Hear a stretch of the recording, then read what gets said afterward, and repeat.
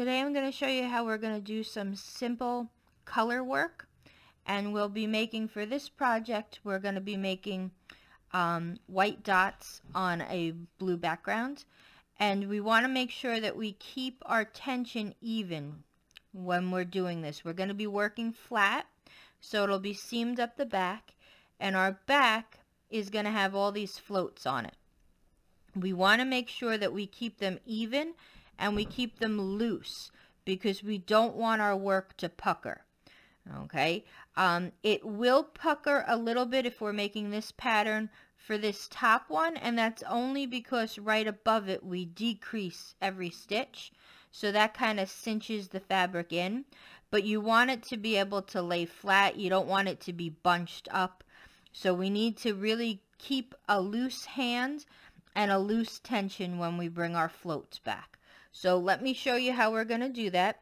I've just casted on a couple stitches so that I can work one or two repeats of our chart. You'll be doing the full amount of stitches. So the first thing that I'm going to do is I'm going to knit two just with my regular color. And then I'm going to bring in my contrast color. So all I'm going to do is I'm going to go in to the stitch I'm knitting. I'm going to lay my new color on and then I'm just going to knit with the color. So this one I'm going to do two in the brand new color. Okay. Now I'm going to go back and I'm going to do four in my old color. So what I'm going to do is I'm just going to grab the old color. I'm not going to pull tight and I'm just going to hold it so that it just lays across the back stitches and then I'm going to knit my four stitches.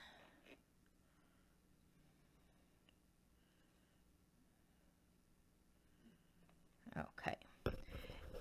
Now what we're going to do is we're going to drop the pink and we're going to pick up our contrast color. And again, we are not going to pull it tight we're just going to have it lay across the back. And then we're going to knit our two stitches. We can drop that color, pick up our original color, and continue knitting four. So that is our repeat for this row. So it's two of a contrast color and then four of the main color.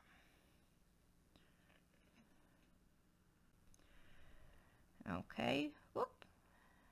They slid off my needle, so I'm just going to put them back on the needle. Okay, so we're ready for our contrast color. So I pick up the contrast color. And again, I'm not pulling tight. I'm just keeping normal tension. And then I'm going to knit two. Grab my regular color. Knit four.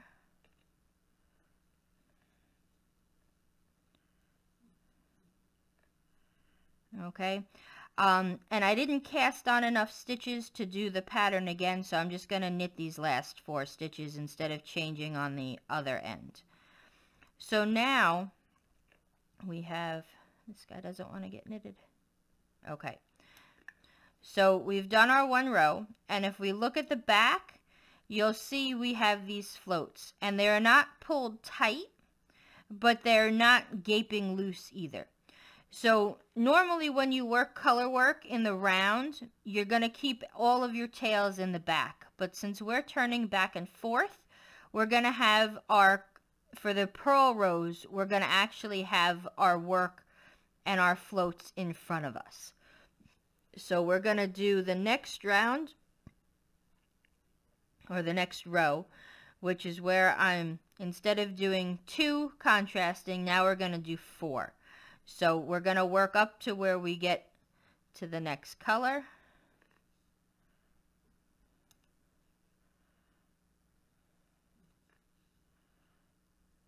So I'm just going to purl like normal until I get two stitches before my color. Okay. So now I'm going to leave my normal, uh, my main color in front. I'm going to pick up my other color And again, I'm going to make sure I'm not pulling tight.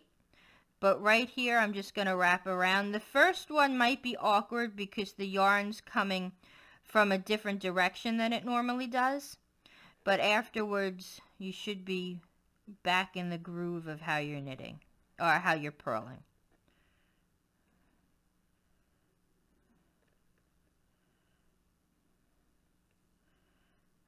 Okay, I'm going to do one more. And now I'm going to grab my main color. And again, I'm laying it on top of the work. I'm making sure I'm not pulling tight. Everything's kind of held loosely. And then I go ahead and I'm going to knit. Okay, now I'm going to switch back to my contrast color.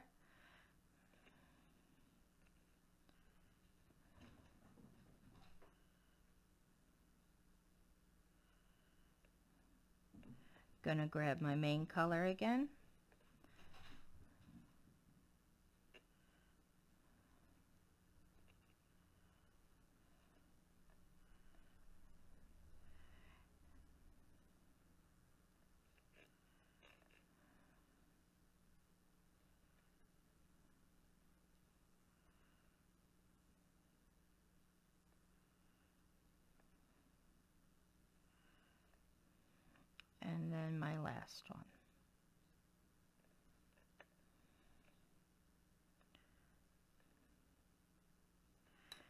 Okay, so if we look again, you'll see our work is not puckered. It's not all bunched together. And if we look at the right side of our fabric, you don't see anything that's pulling. Okay, so I'll go through one more row with you. So we're going to go in. And the way that I purl, my stitches get put on backwards. So that's why I'm going into the back loop. But um, you would go into your front loop like normal. So I'm going to show you this way. Okay. So we're going to drop the main color. Pick up this color. One.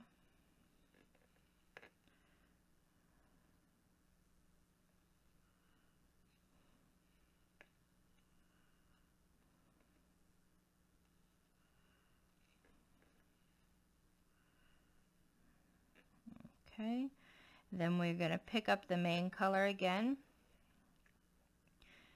And again, we don't want to wrap too tightly. You want to keep it loose.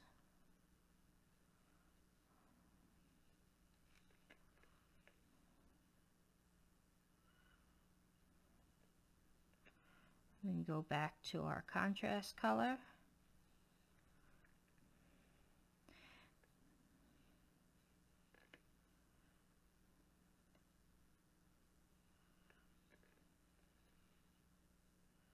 Okay, so that's pretty much all that you're doing. My yarn that I picked out has decided it likes to fray. Okay. It's a very soft yarn, but unfortunately it keeps splitting as I'm working with it. Okay, so you just go back and forth between your main color and your um, your contrasting color. You want to keep your floats about even with the tension on the back. So if we look at our work from the back, we can kind of see it does get a little bit messy, but as long as you keep the same amount of tension, um, it's not going to look too bad and it'll be on the inside. So you're really not going to see all these floats. Okay, but you want to make sure that they're pretty much even. You can see how they're all pretty much the same width and none of them are pulled tight. None of them are gaping. Um, and that is how we're going to work our basic color work.